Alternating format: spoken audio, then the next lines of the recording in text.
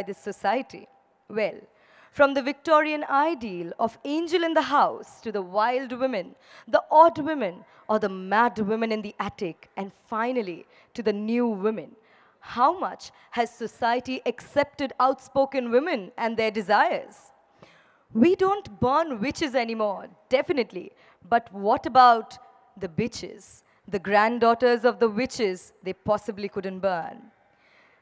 So, to tell us more about this session, I would like to introduce out on her own as artistic director of the Creative Arts, a company she founded with the aim of offering theater training and now known for exploring experimental genres like the very famous site-specific theater. Madhavi Menon is a professor of English at the Ashoka University. She writes on themes of desire and queer theory. Her latest work, titled Infinite Variety, A History of Desire in India, has been published in 2018.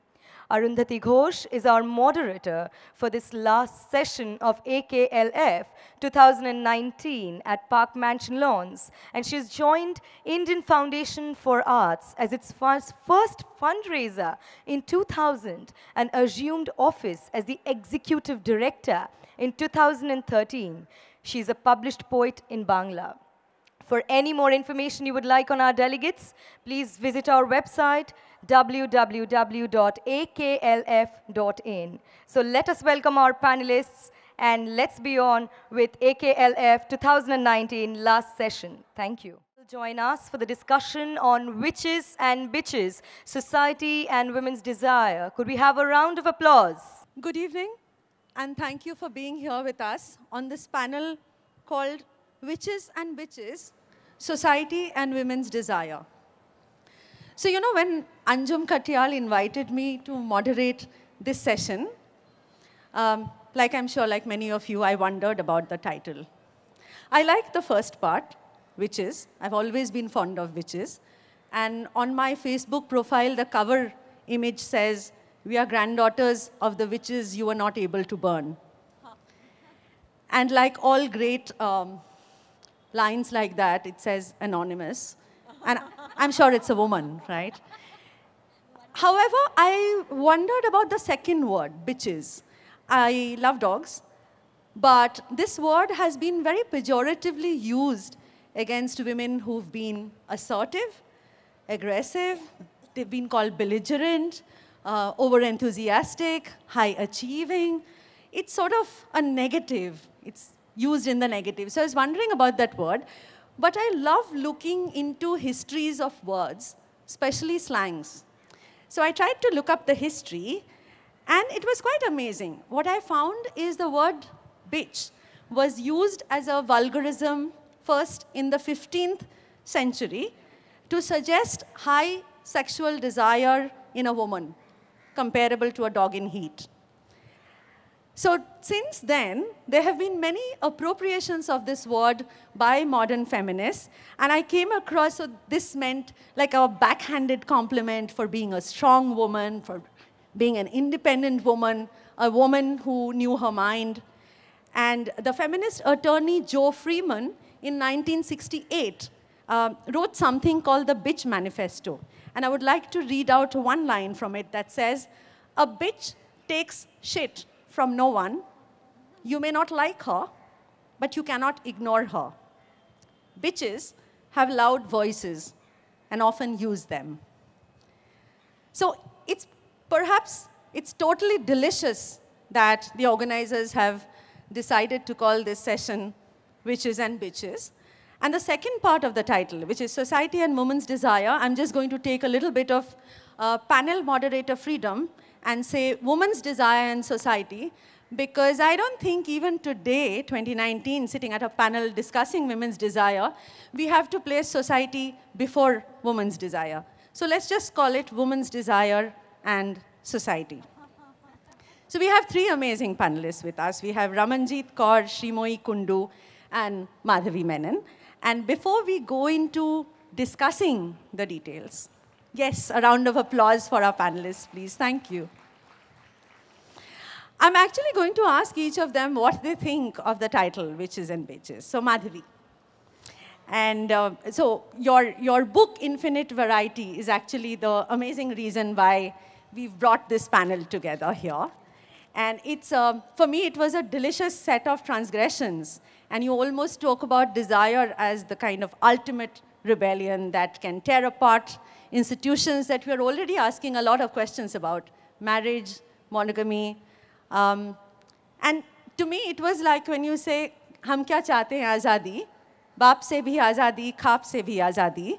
To me, desire seemed like that tool, jisse baap se and khap se azadi can be achieved. So I want to ask you, what do you think of the title for this panel today? Thanks Arundhati, and thanks to, is it, it's working now?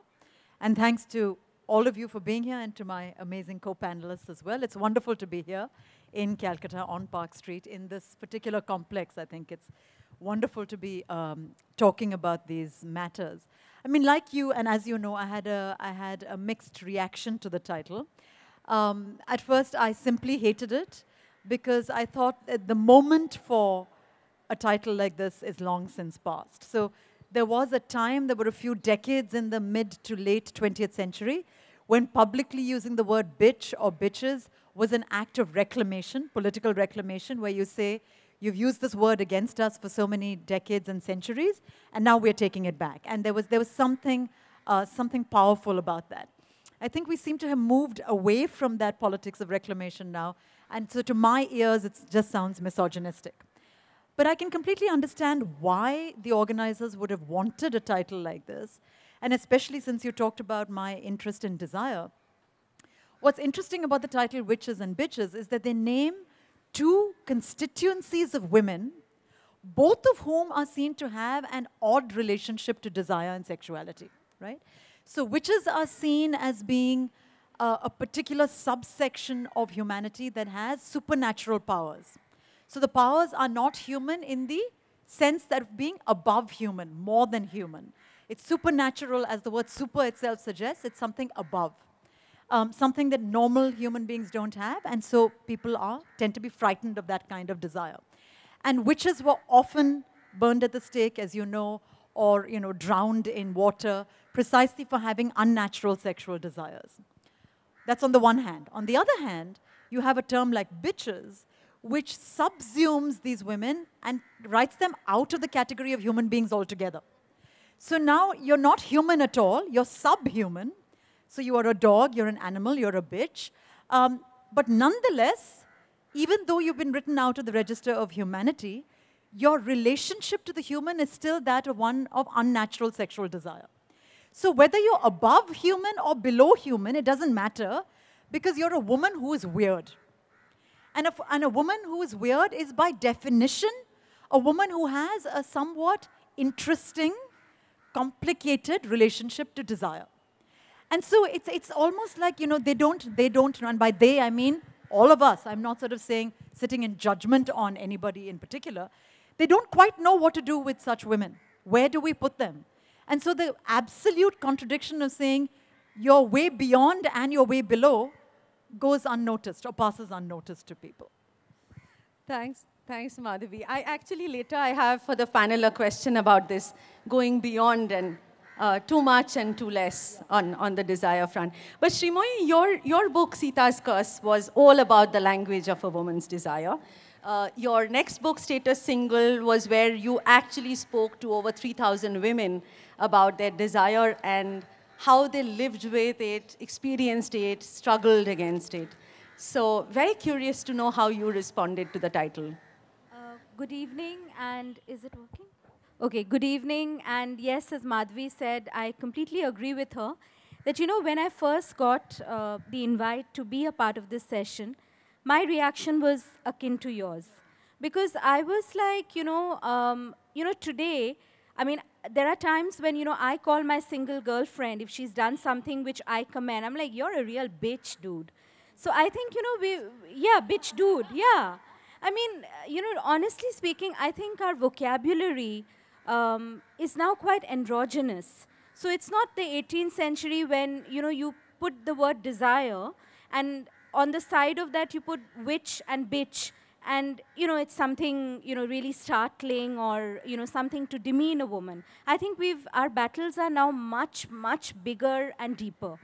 Having said that because you mentioned uh, both sita's curse and status single which were both firsts of a sort even in my writing you know topography because sita's curse was touted as india's first feminist erotica and Status Single, as you know, was and I think is still the country's only non-fiction on 70, I think now we are 76 million single women in India.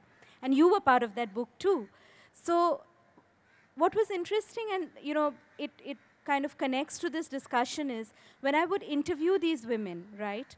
And I may have asked you this question also, and I would tell them that, you know, is there one word which has got prefixed to you, right? Uh, you know, to your singlehood. Like everybody calls me ambitious and they call me choosy. And they don't mean that in a good In way. a nice way. Yeah, yeah. It's not a complimentary uh, thing which is being told to me.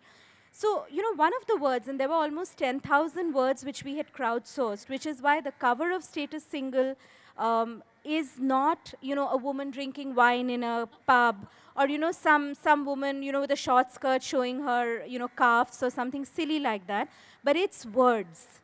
So if you see one of the which, uh, one of the words in that is bitch. and the reason this happened is we got that word in various languages.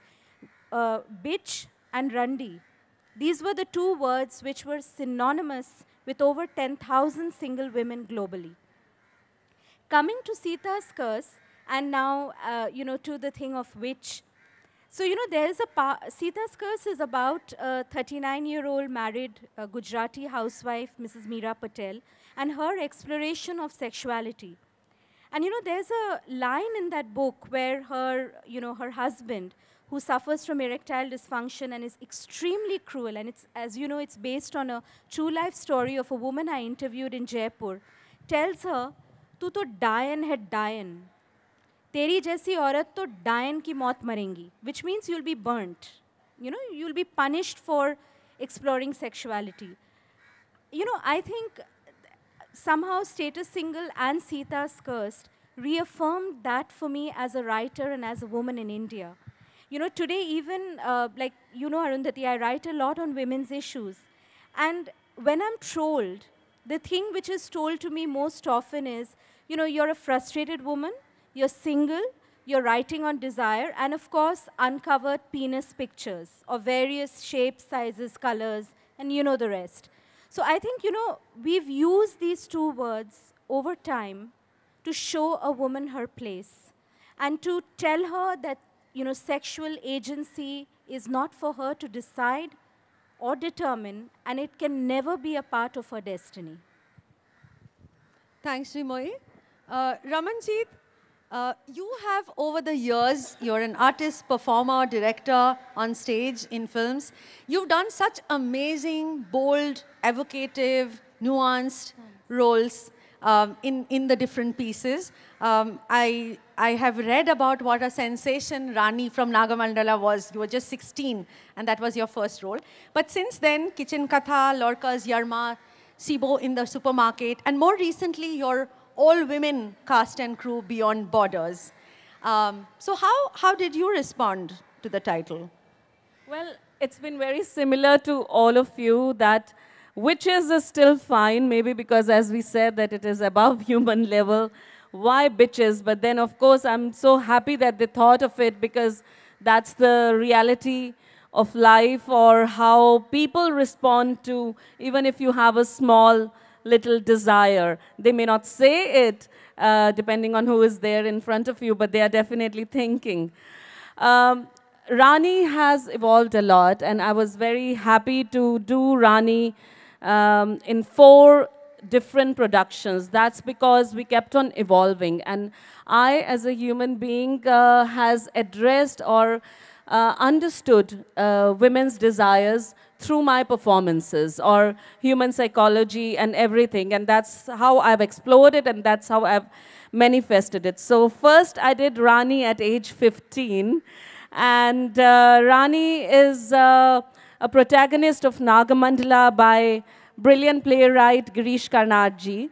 And uh, she is a young girl who's married, whose husband doesn't pay attention to her, and uh, the whole story of Naga and the love potion and everything. So, in the first um, production, Rani was a very demure little girl who was completely confused and didn't know what to do.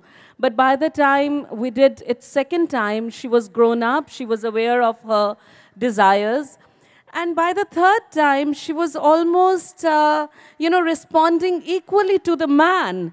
And uh, people were already getting, hey, what kind of, you know, production uh, is taking place? So Girish himself said, what is this? And then he again asked us to revive it after a few years. And this time, it was Rani's desires and, um, you know, the unsatisfied desires that the husband couldn't look into. She calls for everything. She calls the passions, she calls the desires. And let me tell you, Bangalore stood up and they were completely like, oh, what kind of Rani is this? Because all the scenes were very physical. And so over there, there were some bitches happening, you know, uh, in their head. Oh, is she a bitch? You know, she's the one who's calling all these desires and creating. control. She's taking control. Yes. And uh, yes, of course, through Kitchen Katha, we discovered love and desire through food. And uh, she expresses, uh, the protagonist expresses through that. And uh, I would uh, say something about Fida over here, which is Jean Racine's Phèdre.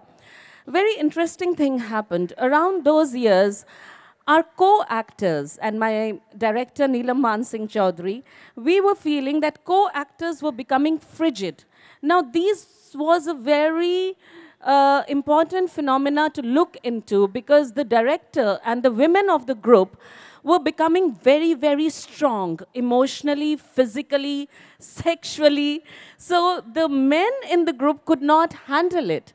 So the director felt that no, I'm not going to work with these actors anymore because uh, they are unable to move with the flow that we are flowing with. So Phèdre, even though he has Theseus, the king, uh, and then she falls in love with her stepson, which is the opposite of the Oedipus complex. So uh, she falls in love with Hippolytus, and there's this most sensuous scene where uh, she expresses her love for um, Hippolytus.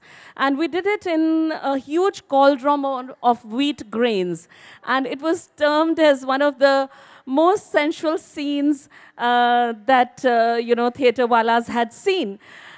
And they kept on asking me what happened there. I said, the thing is that I was imagining the man. he was not there in front of me, so I could take it to any heights. And uh, lately, with the license, we looked at defemination. You know, this is Manto's story. And uh, the whole defeminizing of uh, um, this girl is done in a very, very bold and physical way. So in most of my interviews, they ask me, what happens that you squeeze out the whole juice and then you give it another twist? So I say, because for me, performing on stage is almost orgasmic. So they were again like, you know, so that's where the the. I can see the exclamation marks like, oh, what a witch or a bitch. And uh, lately with the women's group, uh, this is a group I started in 2011. It's an all-women theatre group with uh, people coming from non-theatre backgrounds. They are homemakers, interior designers, fashion designers, teachers, all kinds of people.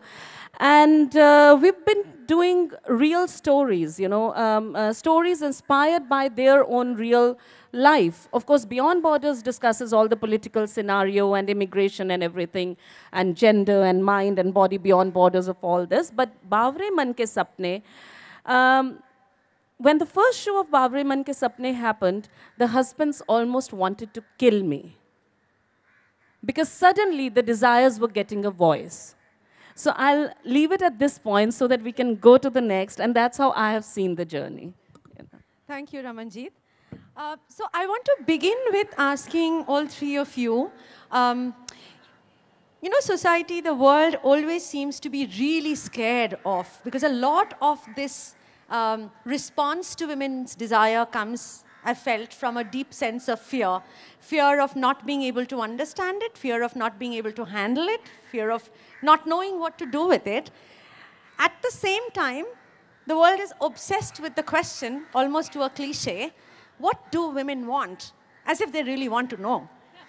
So, uh, my, my question to you is why do you think this fear, do you see this as fear? And uh, why do you think this fear exists?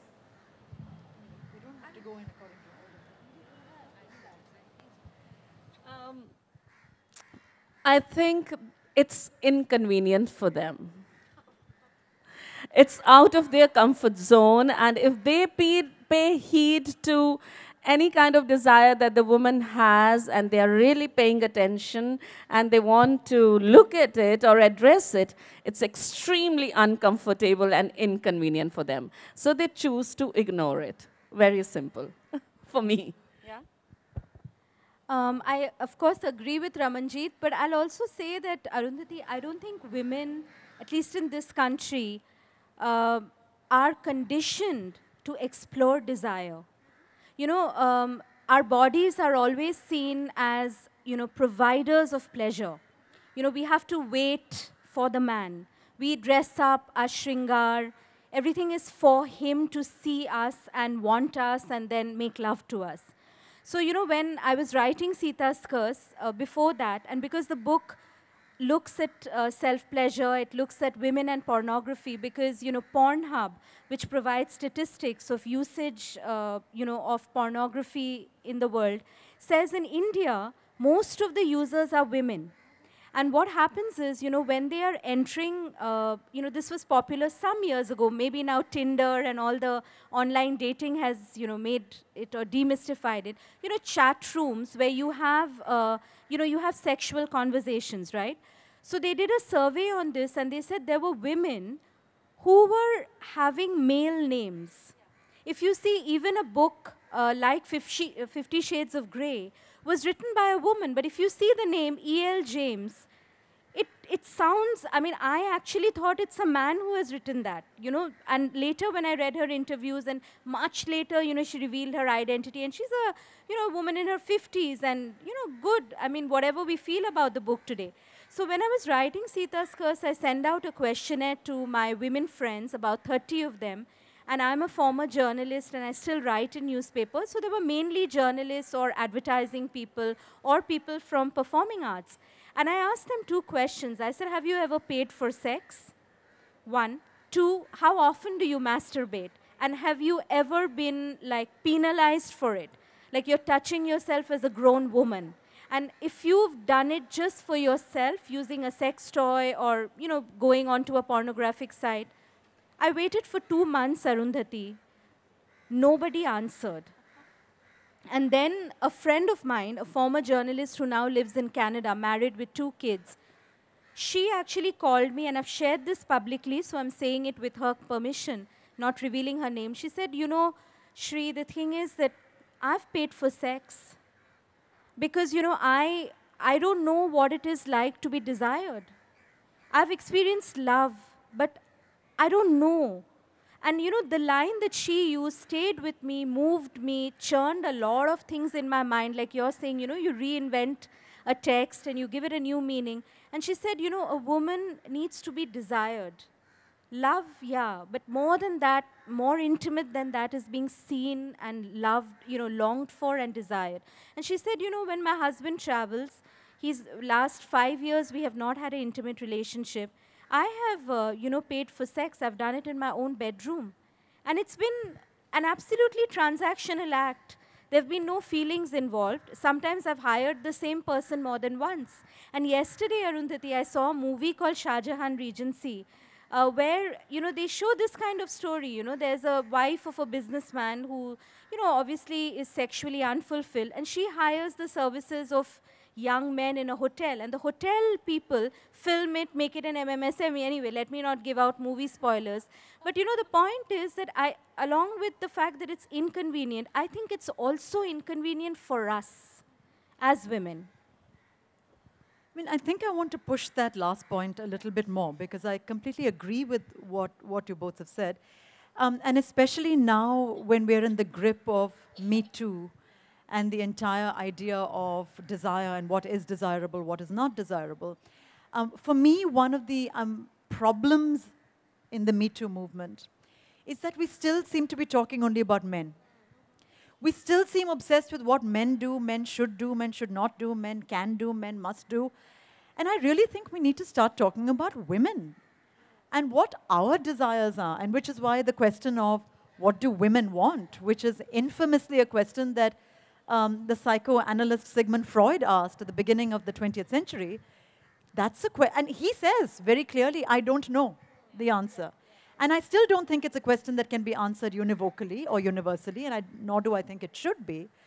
But I think it's a question that needs to be asked. And it's a question that women need to ask ourselves more than anybody else. So the whole problem, the whole problem around the Me Too movement is that we are not recognizing the complexity of desire.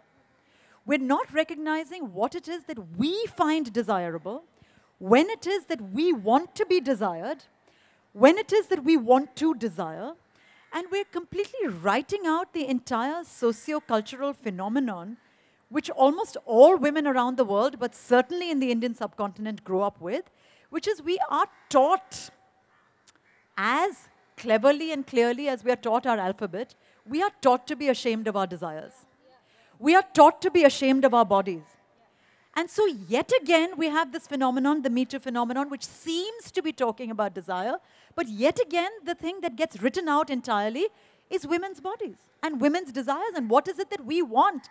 Forget what men do or don't do. You know, I don't expect anything uh, good from men in any case.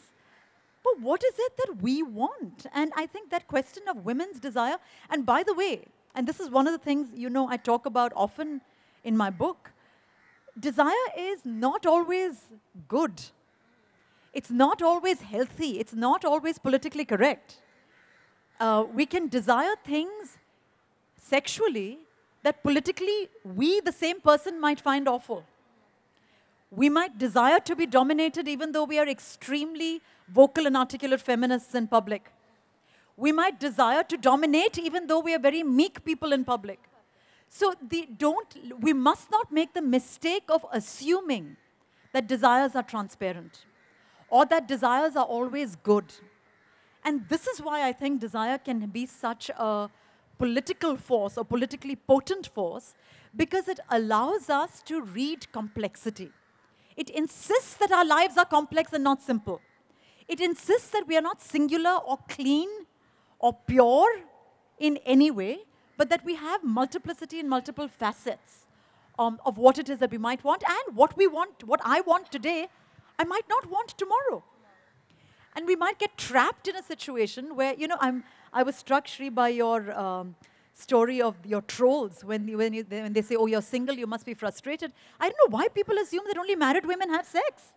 I mean, it just is astonishing to me how we feel that sex belongs to a particular institution or age or, um, or uh, even partners.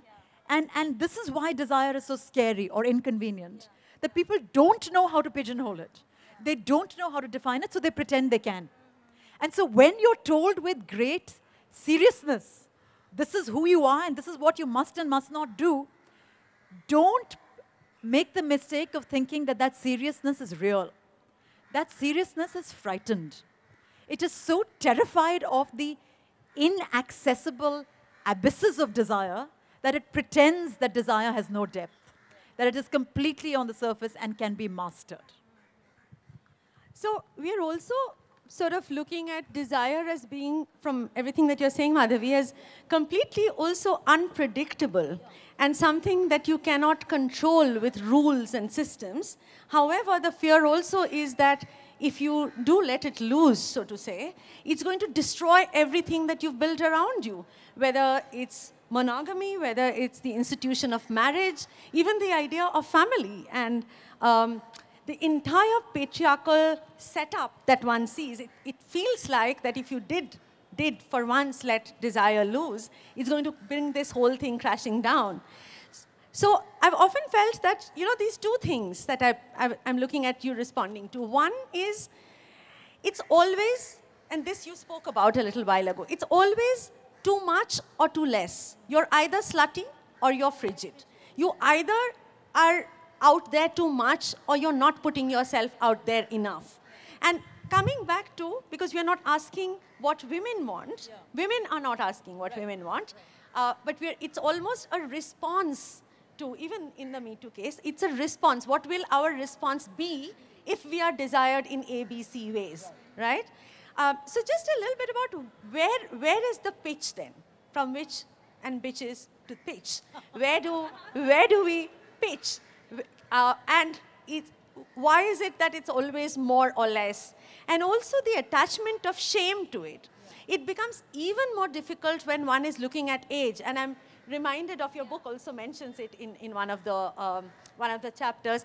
I'm looking at the character that Ratna Pathak Shah plays, uh, Usha Parmar, in the film Lipstick Under My Burqa, where she is told that, you know, a 55-year-old woman making dirty phone calls to a young boy, you should be ashamed. So this sense of shame that one must hold. You should be ashamed if you're slutty. You should be ashamed if you're frigid. Either way. So just, just sort of your responses to that. So Arundhati, since you've mentioned, you know, lipstick under my burqa and Ratna Pathak Shah's power pack performance, let me just bring it to an experience that I had, which, I, which for me was an eye-opener, you know, and it, it is indicative of this sense of perennial, I feel patriarchy-induced shame about a woman owning her desires. So, you know, two things. When, again, back to Sita's curse, when I was pitching the book, my book actually came on the heels of Fifty Shades of Grey, which had, you know, the whole of India gasping for breath. or so I was told.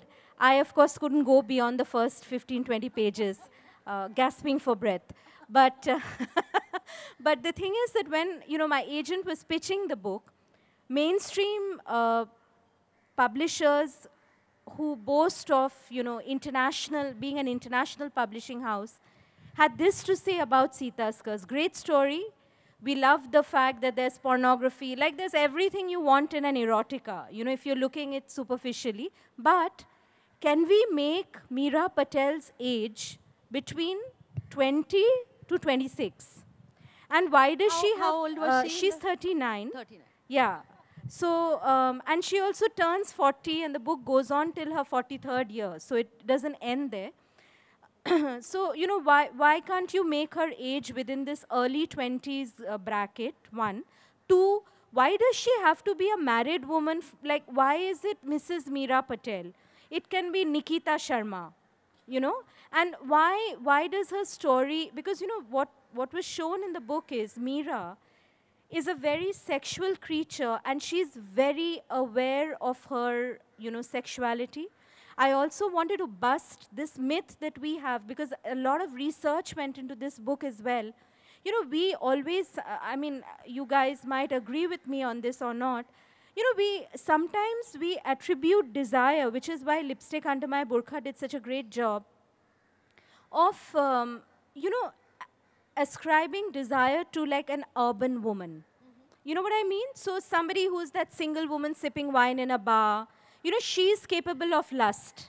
You know, she's capable of seducing an older married man or having a relationship with him. Sita's curse bust and, you know, like slammed that in the first three chapters, where Meera, as a young woman growing up in Senor, which is a small village, made, you know, she initiated uh, or she had a sexual advance with her dance teacher who was, you know, sort of turning her on. And the first, uh, you know, her body, you know, she actually starts menstruating during that uh, uh, episode. And, uh, you know, the dance teacher removes his hands from her privates because he says, Oh my God, like, why didn't you tell me? you know and that's when meera you know there's a beautiful passage which a lot of readers like when she says is my womb my destiny and that's the question the book asks coming back to status single the age group of the women uh, of course it was a w- book on urban india but the age group of women went up till 53 54 again the same feedback you know, why don't you limit it maximum 40? Because now we've allowed 40 to be the new 20. So, you know, I, I actually feel that, you know, this bracketing of a woman, you know, this association of biology with sexuality, I find this nauseating, you know, I really do. Um, I think uh, too much or too less. The first thing that we need to, rather than saying that it is like this, we've already said that. So the only way to address it is first to say, what do we want? And if they can't understand, they can't imagine, let's say it. Let's proclaim it. And uh, 40 is when we are most potent. 40 is when we are beginning to know when what our bodies want, what our minds want, what do we want in life. So 40 is when we are beginning to bloom and we are going to go on for another 40 years at least, maybe till we die. And I think by the time you're dying, it's going to reach another climax. So let's own that up. Let's uh, say it, let's uh, express it. So it also depends on us, and I feel patriarchal society, yes, because the matriarch decided not to talk about it. Our matriarch said, it is shameful. So when you have suppressed desires, a lot of time you want to instill the same onto the other. A lot of time you feel, oh, you've done the right thing. My daughter, my granddaughter should do this right thing, and this is right and nothing else. How can she do something else that I haven't done? So it depends on us that today we say that this is what I want, this is what I desire. And over there, I'll give a very small example. Of course, Arundhati uh, is going to talk about that, which is a little away from sexual desire, but I'm just going to say it now. And that is a simple fact that these women, um, you know, my amazing actors who did not come from theater background, for them to even desire to have a passion like theater is questionable every day and every hour by their families, by their husbands, and by society. Why theater? Okay, so why do you play golf or cricket or, uh, you know, do anything? It's just your passion. And today, I suddenly decided that I want to do theater. Yes, I'm 42. Oh, I'm also 52. I also have actors who started at 62. So, what's wrong with you? There's nothing wrong with me. That's what I want, and that is what I'm going to do. I mean, I'll, um, I'll just say to, just very briefly, I think both of you have spoken so, so well about this. Um, I think reports of the end of the world are often vastly exaggerated. And, and usually, um, usually any system of thought or any concerted effort at questioning is always met with this doom and gloom scenario of, oh my God, the world is going to come to an end. Right? So any revolutionary moment, movement, whether it's feminism or Marxism, is always told that the, you are going to end the world as we know it by doing this, right? You, whatever it is, by asking the question, by asking a question, you are going to destroy the world. And questions are that powerful. And we need to keep that in mind. So, sure, the world as we know it might be destroyed, but there are other worlds. I mean, the arrogance of thinking that the status quo is the only way of going is absolutely appalling to me. And so, the sense of you have to constantly be in a state of revolution. You have to constantly ask questions. I mean, which is why actually, well, A, I'm a professor, so I'm very invested in this, which is why the way the education system in this country is um, being destroyed is particularly problematic because we are teaching young people not to ask questions. We're teaching them never to question the status quo. And if you do that, you have completely lost the battle for any kind of progress or advance or democracy or anything of the kind. So the idea that the world is going to come to an end, both yes and no. Yes, it's going to come to an end in the way in which we know it, and no, we're all going to continue to live anyway, but we might live in a slightly different way. And the question of age, I think, is very important uh, because, of course, and this is true actually for men as well as women, that there is a sense in which sex is inevitably equated with reproduction. So the minute, the minute you leave your reproductive years, you're also meant to leave sex behind. Because what's the point of having sex if you're not having it towards with the goal of reproduction in mind? Completely forgetting, of course, that most historical narratives about sex do not even mention reproduction as the goal of sex. Certainly not in any kind of Indic civilizations, right? Not in, um, in uh, Sufi Islam, uh, not in Hin- various Hinduisms, uh, not in any kind of um, Sikhism. Like, they do not mention reproduction as the goal of sex. So, this is an entirely sort of um, uh, Catholic phenomenon where you know if you're not you're not supposed to use condoms not, there's no birth control because you're meant to have you know have children every time you have sex and so when people say oh indian tradition means that when you stop uh, when you pass, men- pass menopause you're not supposed to have sex there's nothing indian about that tradition at all and this is one of the questions we need to keep asking which is what is this indianness that you keep talking about hmm. when people talk about Indian traditions and Indian values of sexuality, there is absolutely nothing Indian about it in the least. In fact, one of the few things I think we can legitimately be proud about is how sexually free we have been. And that sexual freedom includes having sex well beyond and well before reproductive age starts and ends. And I think that's something we really need to keep in mind rather than allowing this easy, lazy, punitive conflation of sex and reproduction. Because that is an extremely um, problematic idea, to say the least.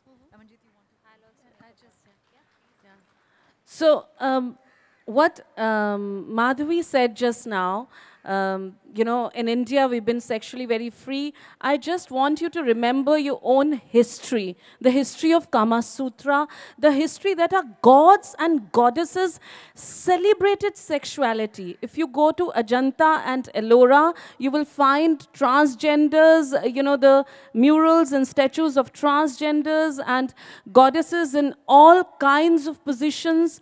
And I mean, it's a celebration because body is such a beautiful thing that nature has given us and we need to celebrate it. So every time you're confused just look at your own history which is your very own ancient history and you will get millions of answers over there. I think, you know, such an important point made by both of you, but, uh, you know, I also feel that, you see, there's today, when you're talking about desire and sexuality, you know, there's also a political uh, direction of that. You know, sexuality, as Madhvi so correctly said, that it can't be, it's not a monochrome. It can't be. You know, so I remember, um, you know, I had, when Sita's Curse was released, and, you know, we went to Vizag with the book. And there was this gentleman from a particular political party, and he said, What are you trying to teach married women, huh? That, you know, uh, after menopause, they can have fun.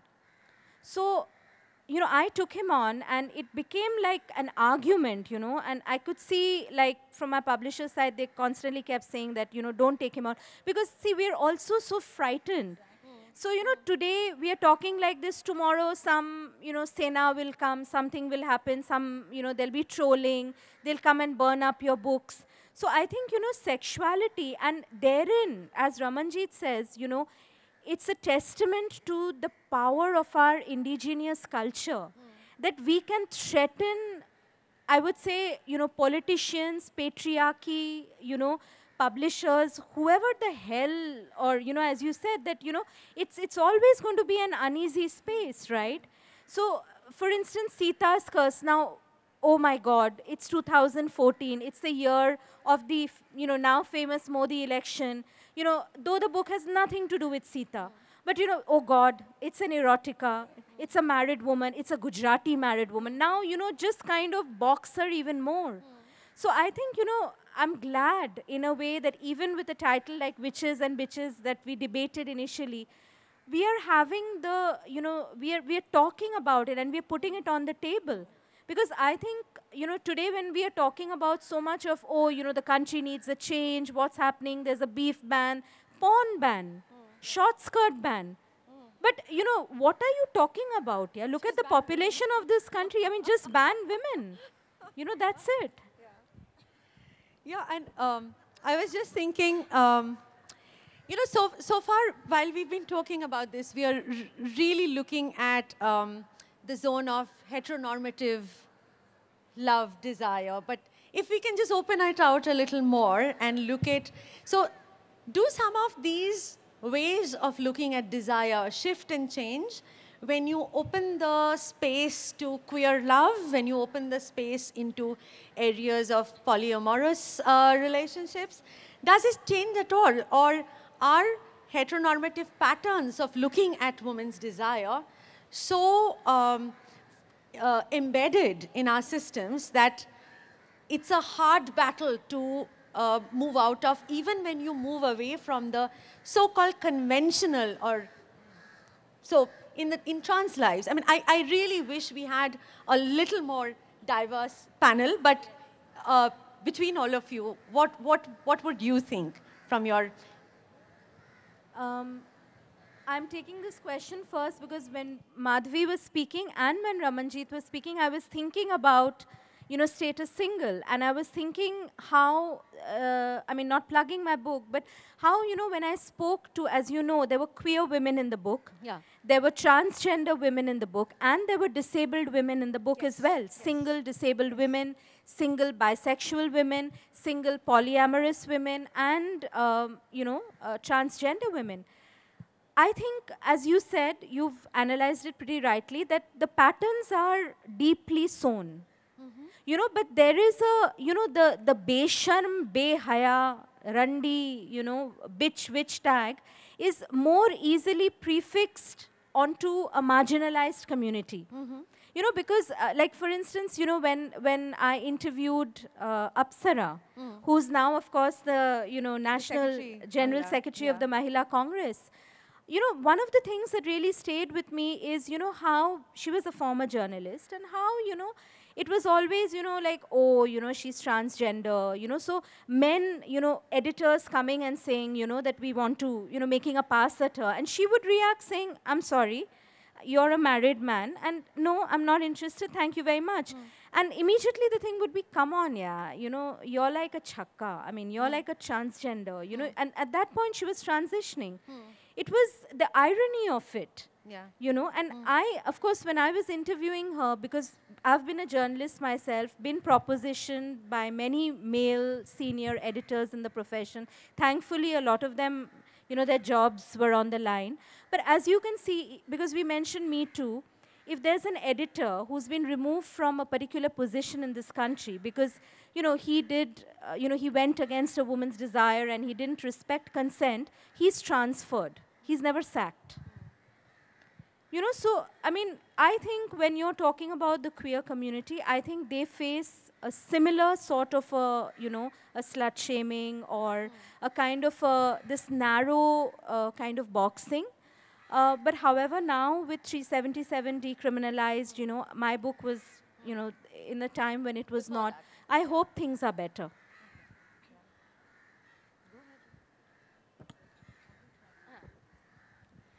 I'm just um, struck, Arundhati, that you said you wish you had a more diverse panel because um, how do you know you don't?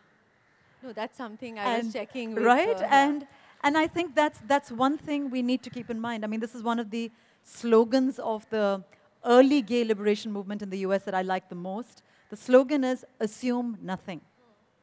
And I think we need to we need to keep that in mind always uh, when we are assuming we know who someone else is. Um, Just because someone is married, for instance, doesn't mean their desires are heterosexual or heteronormative. We know historically that a lot of gay men feel compelled to get married to a woman, for instance, for whatever reasons uh, of being shamed by their sexuality. And, and the same happens to women, of course. Um, and so we cannot, and in fact, therein lies our strength. That we are getting very attached, and I'm, I'm actually quite critical of this. We're getting very attached to a certain, and I'm going to call it at risk of um, being sort of completely generalizing, I'm going to call it a Western narrative, but it's more complex than that, and I recognize that. But we're getting too attached to a certain Western narrative of liberation, of transparency, and of identity that has to be worn as a badge on one's shoulder. I'm much more interested in the crevices of desire. I'm much more interested in the ways in which desire does not translate into an identity. I'm much more interested in the ways in which desires can change from moment to moment and day to day. So, what happens then every time my desire changes? Do I have to publish my identity and say, This is who I am today? Oh, by the way, Government of India, will you give me permission tomorrow to be something else? So, I feel, and I've said this many times before, that identity is often a trap. That we think it is setting us free. We think that we are being liberated by being allowed to be whatever it is that we are asked to be or allowed to be in public. But actually, that allowing is a trap because then it boxes us in into that box. And it says, oh, you said you were this, so how can you be anything else? And you know, a fabulous example of this is the Supreme Court judgment called the Nalsa judgment on transgenders, where they say, and this is such a brilliant judgment, and those of you, many of you must have read it if you haven't, this is really something worth reading. The Supreme Court says, gender is not in the body, anyone can say they are transgender without having to physiologically or medically prove it. So you don't have to have an operation. You don't have to say you have overgrown or undergrown genitalia. There is no physical binding on this. You can just say, I am transgender, and we will have to accept it. The government of India takes that judgment, passes a transgender bill, and takes out that one central condition of self determination and says, You will not determine who you are.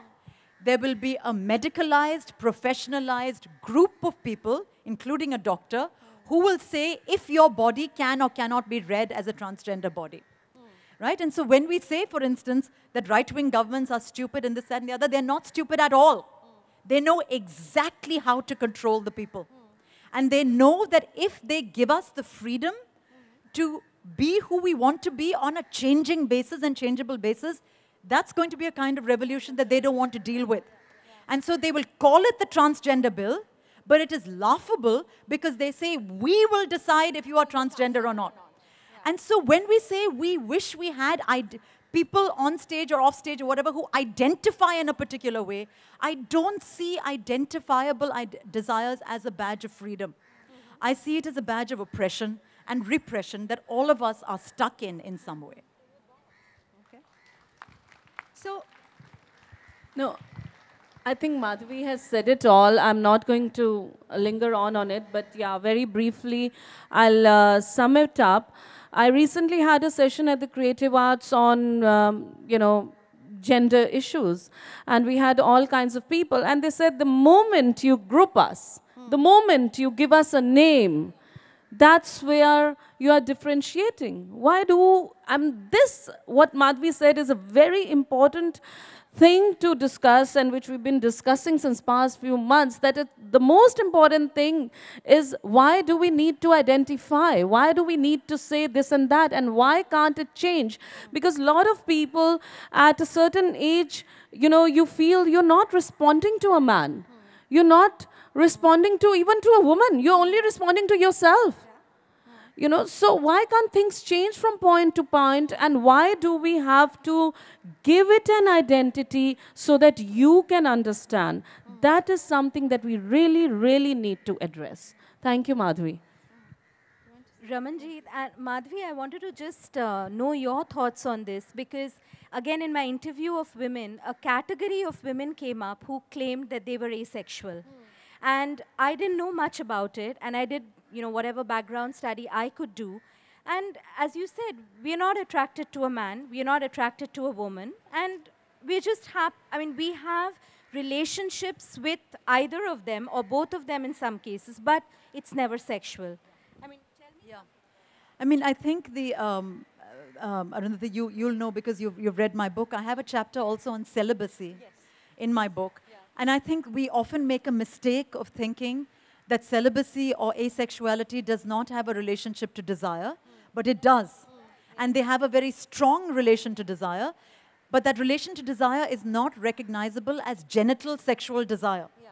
And again, we tend to conflate sexuality with and desire with genital intercourse. And surely our lives are not that impoverished. Surely our imaginations are not that fallow. surely we can think of our desires in registers that go well beyond genital sexual agency. So actually the, uh, I was looking at the time. So the last question from me and maybe then we can open this out to uh, the audience as well and take a couple of questions. Yeah, I wish, I wish we were much closer, but maybe we can just go down there when we are, yeah. So that was the other thing that when we have a panel on women's desire and society, um, I was thinking, are we only going to talk about sexual desire? Are we only going to talk about physical desires? Are we only going to? So, what about our other desires? What about the desire to achieve, to change the world, to do things, to climb mountains, all of it? You know, in, in, in some ways, I think we've been taught um, very, uh, very differently about this glass ceiling. Like when I was told about glass ceiling, it was described in a manner that it's a very uh, innocent, uh, flat sheet waiting for my determination and agency and strength, and I have to go break it. And when I break it, it will not shatter my hand, it will just open up and give this amazing possibility of multiple lives beyond that glass ceiling. Well, we- as we all know, glass ceiling has nails and claws and it fights back, it doesn't let you enter. Um, across all sort of aspects um, and spheres of life. So, a little bit from each one of you on these other desires, for which also often women are treated very harshly, are often punished in different ways. Um, so, what about these other desires?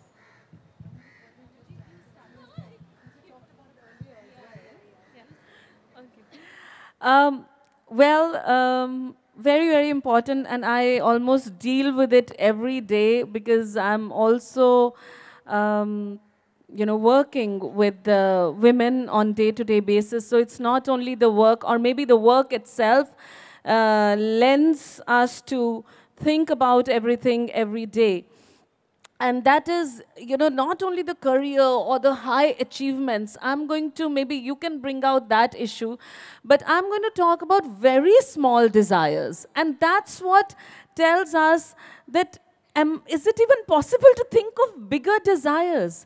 Very simply as i said that you know a simple thing like oh now at age 62 i've decided to do theater. And it's not just consuming 2 hours uh, in one week, but maybe sometimes four hours in a week. And this month, I'm going to do it five hours every day. Um, but it's so uncomfortable for others. Why do you want to do it at age 65? Your bones are creaking. You're doing physical work. You will kill yourself. So, um, taking from there to a simple thing like a younger woman who has, you know, uh, small kids or something. How can you sit and read a magazine? How can you take half an hour nap? Because you still have homework to look after, you still have grocery that needs attention, you still have kitchen, even if you're not cooking, that needs attention. You need, you have guests coming in. So simple things like looking at a magazine, uh, choosing to follow your passion. Uh, my mother is. Um, 70 plus now. We just celebrated her birthday. And my father has been most supported, and she's been a working lady. She was um, manager legal department in LIC. So they've had a you know raving career, and my father has been most supportive, and uh, he's done a lot of sacrifices for her career. But he says, are you sure you want to start learning music, which was your passion at that point of time, now when you are 70? Are you sure you can do it? Won't you be uncomfortable or what? So, you know, simple things like not to decide age factor not the not to have age as your deciding factor not to have circumstances as your deciding factor but let the desires and the passion and the uh, happiness that you derive from it be the deciding factor So I got asked just yesterday by a journalist who was interviewing me for Cut. So as you know, uh, and Ramanjit is from theatre, so it's nice to talk about Cut on this stage with her there. Cut is a play. It's a, it's a multilingual play.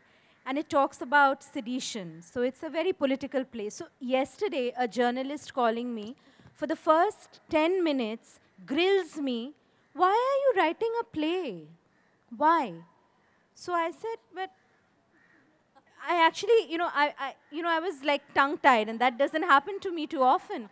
And, you know, after I answered it somehow, but again, towards the end of the interview, she comes back to that and she says, So now, will we see you on stage? You acted in a movie as a child. Are you planning to act? You know, then I realized where this was going. And I told her, like, as Ramanjit said it so beautifully, that desires don't need anybody's permission and they are not, uh, you know, they are not, uh, you know, necessarily attached to any age, be it a man or a woman. So today, it was my desire to write a play.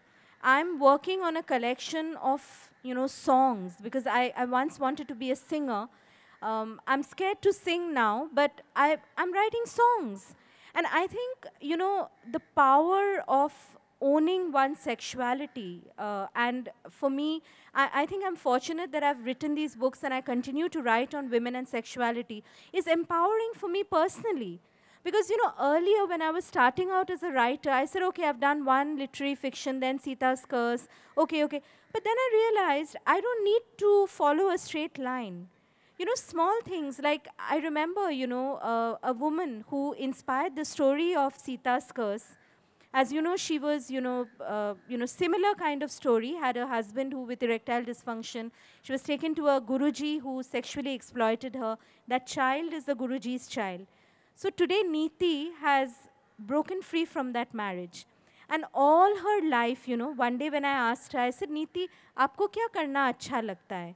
So she said, मुझे ना मैं नहा के जब कपड़े पहनती हूँ ना तो मुझे वो माधुरी का जो धक धक वाला डांस है ना, वो करना अच्छा लगता है और मुझे अचार बनाना अच्छा लगता है। I don't know if Niti is doing the dhak dhak I I pray and chant every day that she is but she is with an N G O now and she is actually started making achar and she's only selling it to, you know, members of that ngo but when i talk to her and she's learning english how much happiness just, you know, sunning that little achar bottle. It's a, it's a freedom. It's, it's almost like she's discovered her own entitlement. Um, just very briefly, Arundhati, I'm, I'm, your description of the glass ceiling was so evocative that I, I, don't necessarily need to add anything to that. The claws and the nails and the talons and the shard, the shards of glass, right? The sort of innocent-sounding glass ceiling is, is nonsense. All, I'll say is very quickly, and I think all three of us were saying it while you were asking your question, uh, which is it, it doesn't matter um, if your desire is to go out and work, you'll still be a bitch. If your desire is to have sex with multiple people, you're still a bitch. If your desire is never to enter the kitchen, you are a bitch. So uh, these, these sort of if your desire is not to have sex, definitely, you are definitely a bitch, right? So there is, so there's a way in which this becomes a fairly um, all-purpose term. And so it doesn't really matter, the specifics of what women do actually doesn't matter. So long as you are seen to be transgressing a code set down for you by a certain system, um, um, you know, populated by men and unfortunately plenty of women too, as long as you're seen as transgressing that code, you are going to be a bitch. It doesn't matter where and in which sphere that transgression comes. So I think, yeah, question. So uh, do we have some time? We should. Do we have a little time for questions? Yeah. Yeah? Yeah? Okay. I think the questions will be okay. Another session upstairs. Session in quickly. Oh, okay. Yeah, some questions. Or maybe you think we should just walk down? No. Are they ready? Volunteers, can we have some light on the audience? And can and you, you go could ahead, take the mic if there's a question, can you check? Or if you could, and if you could just introduce yourselves before asking. Um, I'm Dawn from Canada. Um, yeah, I like you talked more. I'd like to hear more talk about older women and younger men. That's a situation I'm in right now. so clearly you, clearly, Dawn, you should be talking about it then. That's a lot. Tell us. A lot these No. days, in fact.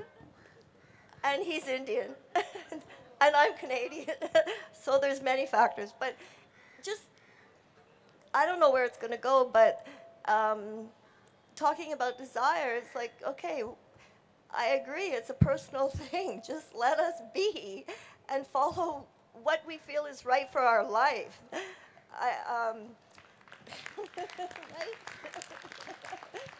no, and but I'm realizing that um, here in India, you, you can't really handle older women and younger men. And I'm only four years younger than, than his mom. so, but, my Canadian friends all say, go, go for it. You know, if you have a connection, why not? And that in a relationship is the most important thing, is a connection. Um, so, I think this needs to be talked about as well, because I believe in breaking stereotypes. um, and I'm also riding on his motorcycle. Well, uh, I think in defense of uh, my country and the writer friends and the wonderful women of this country, my parents have a 13 and a half year age difference. So my father is uh, almost 14 years younger than my mother. And uh, it's a second marriage for my mom. And uh, they're deliriously happy and uh, expressing desire and uh, have a great uh, committed friendship and companionship, which I think, like you said, you know, you're riding his motorcycle, wind in his hair. I'm just trying to see my parents doing that and my dad. Yeah, good visual nonetheless. Yeah, so I think, you know, there are, you know, for every five women who are scared, I would still say there's that one woman who does break a very difficult glass ceiling. well, it's the, it's the first time I rode a motorcycle, too. so, I just, I just want to add very quickly that um, something that you said earlier, Arundhati, about uh, reproducing heterosexist norms or paradigms or patterns, um, it goes without saying in most parts of the world, actually, I don't think only in India, that the man will be in a heterosexual relationship, will be older than the woman, will be taller than the woman, will earn more than the woman. Um, and all these things we take so much for granted, we don't bat an eyelid. And of course, let's not even get started on the names, right? Changing names. And the woman has to change her name. And this happens, by the way, in the West every bit as much as it happens here. And so, this idea of uh, we take this so much for granted that these are things we don't even question. And, you know, good for you on your, on your motorcycle. Maybe just one more question. Most, most men don't know what the Can we women. have your, can, I, can you introduce yourself, please? Uh, yeah, I'm a freelance journalist. I have published four books. My name is V. Sundaram. Satyam Shivam Sundaram. Last name is Sundaram. Uh, you know, most men, they think, uh, or uh, uh, women, they don't understand women at all properly. Likewise, but most women able to, I think, recognize and understand men folk.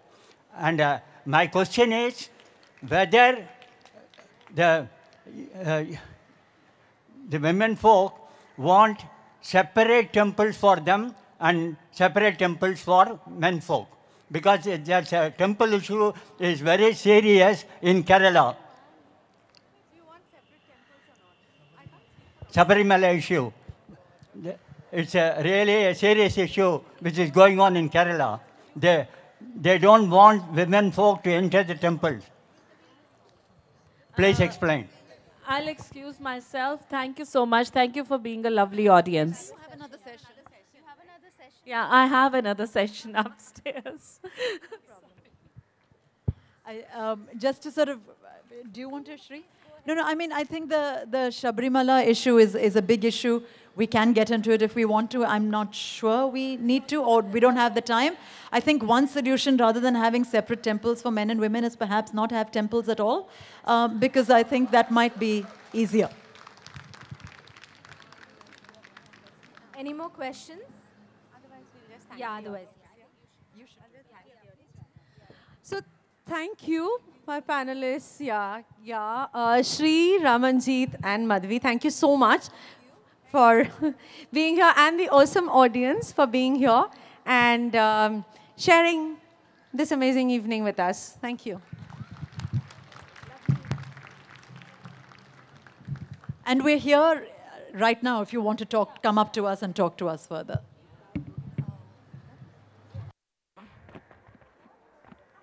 Hello. Yeah. So I cannot thank them enough for this thought provoking and enriching session. So, as women, we are asked most often than not to go with the flow. But I think from today's session, we're going to take it back home that it's important to acknowledge, admit, and accept that only dead fish go with the flow, ladies. So, when in India, women and self pleasure are almost unthinkable in the same breath, this society ordains women to endure sex and not enjoy it.